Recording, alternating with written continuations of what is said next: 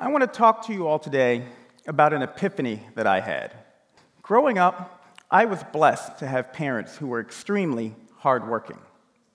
Both my parents were school teachers, and they had to stretch their incomes to feed and to clothe me and my brothers and my sister. We were a family that was rich with love for one another, but no one would have called us financially rich.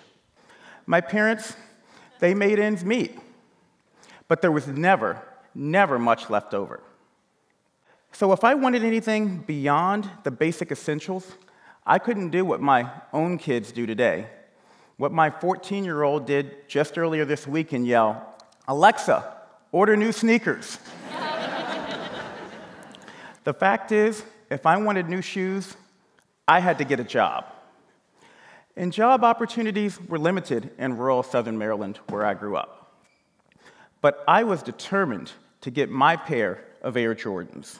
So, like many Americans, for me, a top priority was figuring out how to generate income. Now, I may look like an airline pilot. and on occasion, I've been asked for headphones and extra snacks while traveling. But I stand before you today as the 20th United States Surgeon General.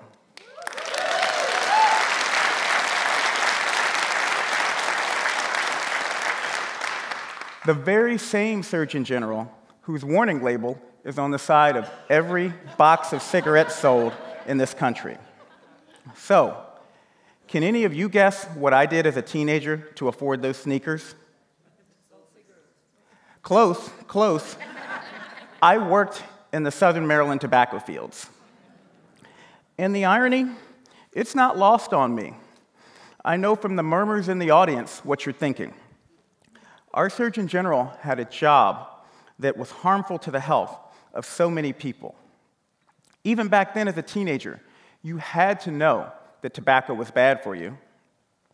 Well, I watched my own grandfather suffer and die from lung cancer. I had asthma myself growing up, and one of my worst ever attacks came after working in a barn full of tobacco leaves hung out to dry. So, of course, I knew tobacco wasn't healthy.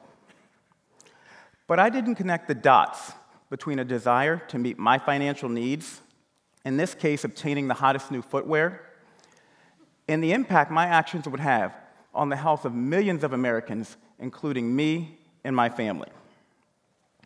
You see, Democrat or Republican, black or white, rich or poor, we all make decisions every day that compromise our future physical and mental well being. We do it as individuals, and we do it as a nation. And time and again, what we tend to prioritize is our financial well being. And I actually see some heads in the audience shaking no, no, no, not me. So I ask you this raise your hand if sometime in the last week you didn't get enough sleep, you skipped a meal, you failed to work out for the sake of your school or your job. And I'm betting that for many of you who raised your hands, at least part of your motivation was that you'd eventually be compensated, that you'd get a paycheck for making that choice. And if I ask you, what's healthier, french fries or broccoli? Broccoli, broccoli she got it. And if I ask you, how many hours of sleep should you get a night? Last night, about five. Well, uh, not how many hours you got, how many hours you should get. Eight. Eight. All right, see? You all are a smart group. You're a smart group.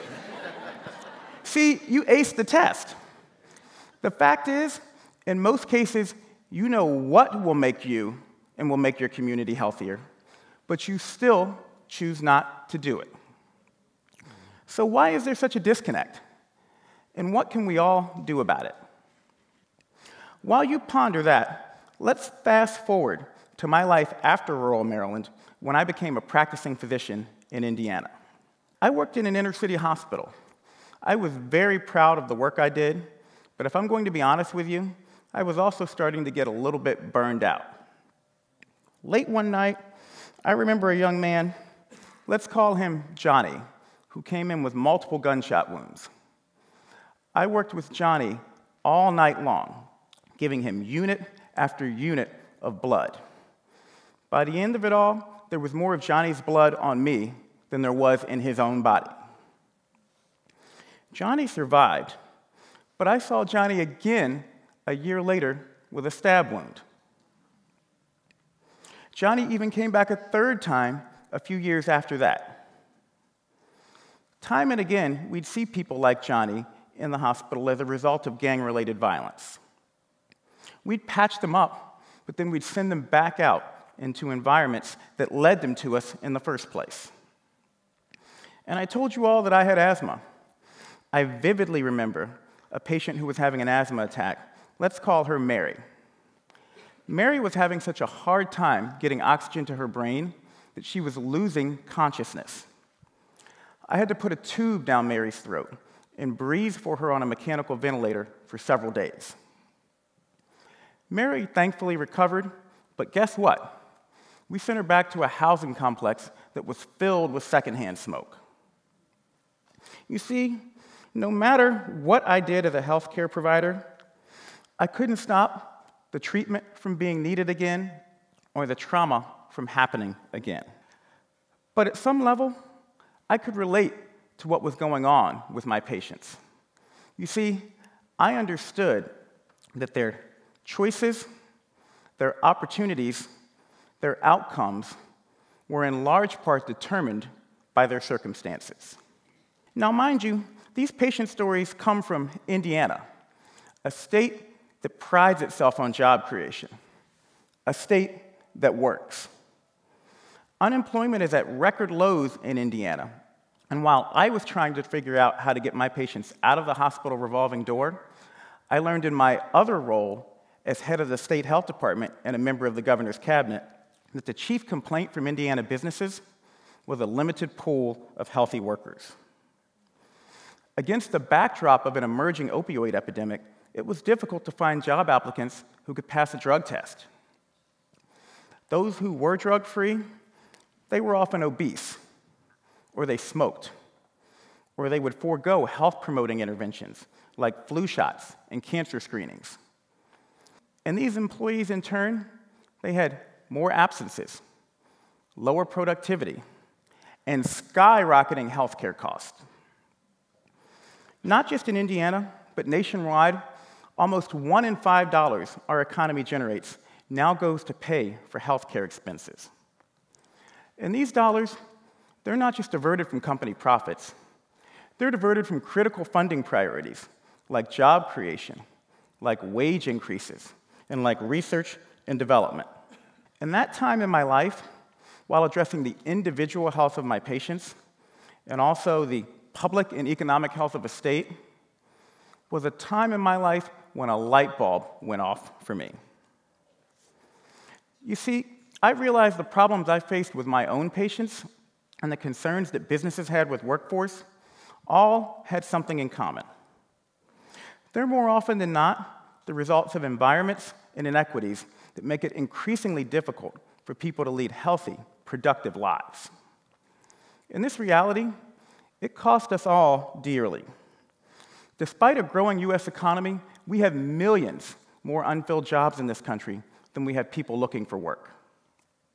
We spend more on healthcare than any other country. It's not even close $3.4 trillion. Yet we have some of the highest infant and maternal mortality rates and some of the lowest life expectancies. Even our military is being affected by the poor health of American communities. Did you know that 7 out of 10 of our 18 to 24 year olds in this country are currently ineligible for military service? They can't pass the physical, can't meet the educational requirements, or have a criminal history. We often think that addressing the upstream social factors that lead to these outcomes will cost too much for our economy, for our businesses, for all of you as taxpayers to afford. But the truth is, we can't afford the status quo.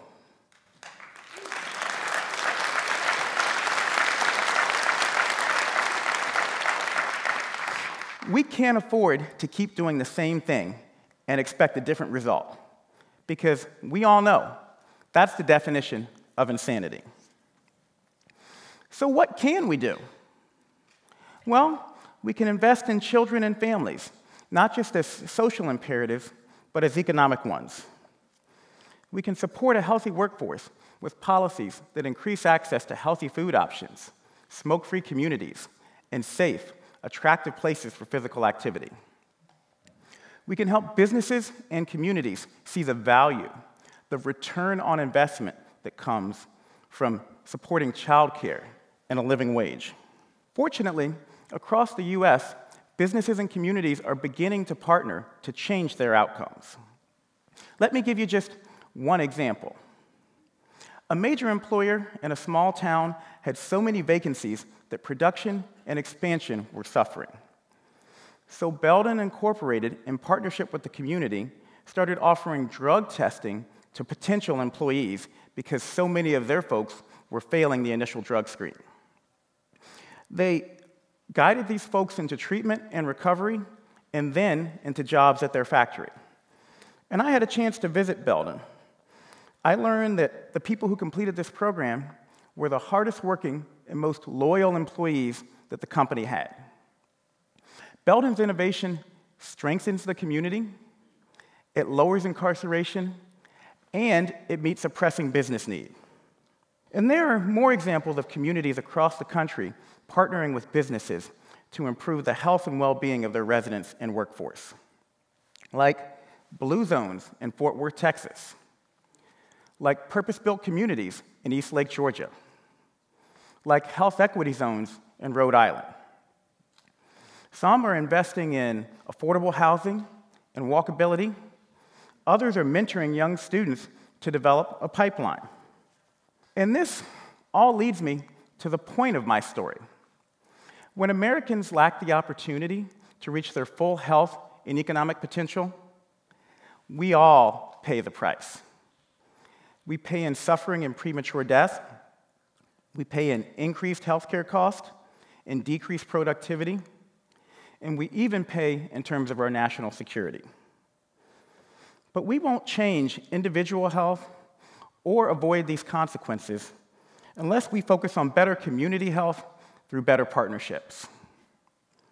By making the case for community health as a pathway to economic prosperity, we foster investment in our communities that not only lifts up population health, but also raises and sustains our collective financial success. Or to say it in a tweet for the millennials in the audience, hashtag health is wealth. You know, I was lucky the health consequences I faced from working in the tobacco fields didn't prevent me from pursuing my dreams. But not everyone who sacrifices health and safety for the sake of finance is so lucky.